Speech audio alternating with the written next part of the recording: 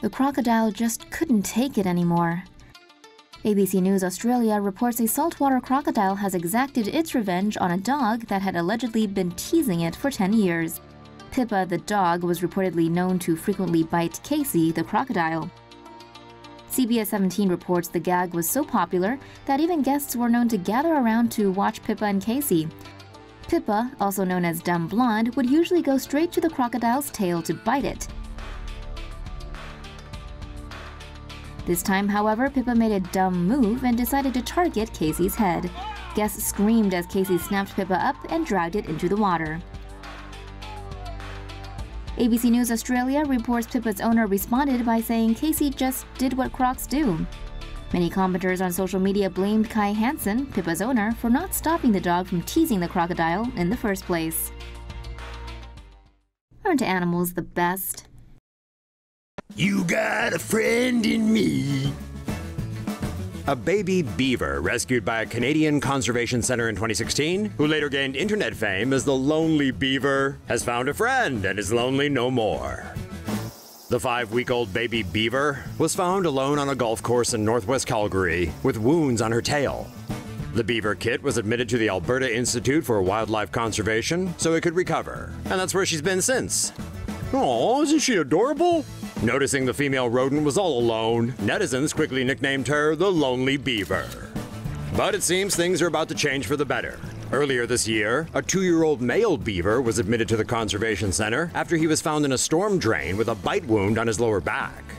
Beavers live better when they have a companion, so the Conservation Center decided to introduce the two to each other. According to their handlers, the two are now best friends. And since they haven't reached breeding age, their relationship is purely platonic, uh, for now. These two adorable beavers will be released together in June 2018. Since caring for wildlife is generally expensive, the Conservation Center has set up a GoFundMe page for the pair's medical costs, which are expected to amount to $23,000. Lioness sprouts majestic mane. Vets at the Oklahoma Zoo were downright baffled after one of their female charges began to grow a very distinctly male feature. After spending 18 normal years as a fierce female, Bridget the African lioness suddenly began sprouting a manly mane that by November had already resembled Santa's beard. Curiously, the luscious locks didn't seem to be contagious and hadn't come with any behavioral changes. Maned lionesses aren't unheard of, but usually the extra testosterone feeding the mane of glory also gives them increased aggression and male mating behaviors. In one case, a lioness named Emma's full mane growth was attributed to testosterone producing ovaries, which then taken out caused the mane to disappear. Bridget's zoo has taken a blood sample to figure out if it's a testosterone issue, though it's also possible she has a benign tumor on the adrenal or pituitary gland. In any case, her handlers aren't too worried, since the extra hair doesn't seem to be affecting their big girl's health. Is this humane?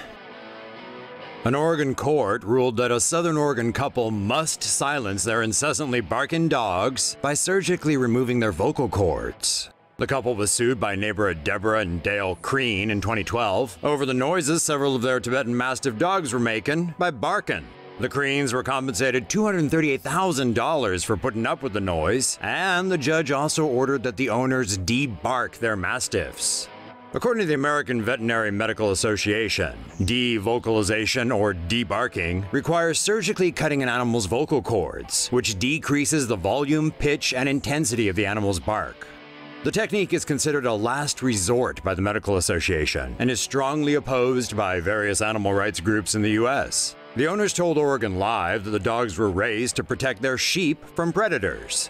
However, the court ruled that their Tibetan Mastiffs weren't ideally suited to work with livestock and ordered them to debark the dogs or replace them with pooches that were more suitable for the task. The Oregon chapter of the Humane Society of the United States said that there are other ways to discourage a dog from barking, such as with citronella spray and shock collars, or by simply building a visual barrier between the dogs and the neighbor's property. It's unknown whether the couple plans to appeal the decision to the Oregon Supreme Court. Raccoon family shows off its incredible teamwork skills. In the animal kingdom, it's all about teamwork. Video footage uploaded to LiveLeak shows one raccoon family working together to scale a wall. The footage starts out with a mother raccoon trying to push up one of her babies, while another baby is behind her, trying to lend a helping paw. The mother grabs the little guy but loses her grip on the little feller, causing him to drop back down. The baby starts to climb up the wall by itself, and that's when the mother grabs it by the back of the neck and starts to pull the little one up. With the mother holding on to the wall with her two back paws, she slowly backs up and finally helps the baby get over the hump. Mission accomplished. King cobras found in chip cans smuggled from Hong Kong. You've heard of a can of worms. How about a can of snakes? A man in Los Angeles is facing charges of illegally importing merchandise, the merchandise being a package full of live reptiles. In March of 2017, U.S. Customs and Border Protection officers intercepted a parcel that raised some red flags. Shipped from Hong Kong, inside the package were a few cans of potato chips, or so it appeared. When the lids were popped, the snake sprang out. Three venomous king cobras, each roughly 2 feet in length, needed to be contained. Three albino Chinese softshell turtles were also found. The shipment was addressed to 34 year old Rodrigo Franco, who consequently had his home searched by federal agents this week. In a child's bedroom, they found tanks with alligator snapping turtles, a common snapping turtle, five diamondback terrapins, and a baby Morelet's crocodile.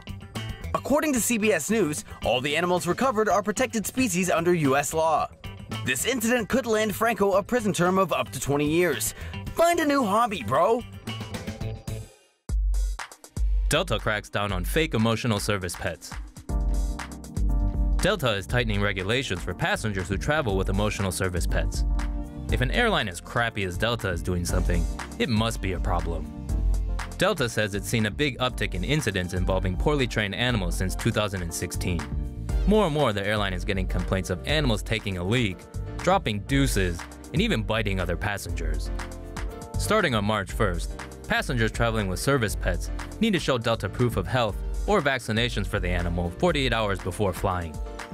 People traveling with emotional or psychological support animals will need a signed note from a doctor confirming that the animal won't go berserk. In the past, Delta said passengers have tried to use turkeys, possums, snakes, and even spiders as support pets. From now on, if you're looking to bring hedgehogs, ferrets, insects, rodents, snakes, spiders, possums, amphibians, non household fowl, or animals with horns, tusks, or hooves on a flight, you're gonna have to find someone other than Delta. Well, maybe it's not that bad of news.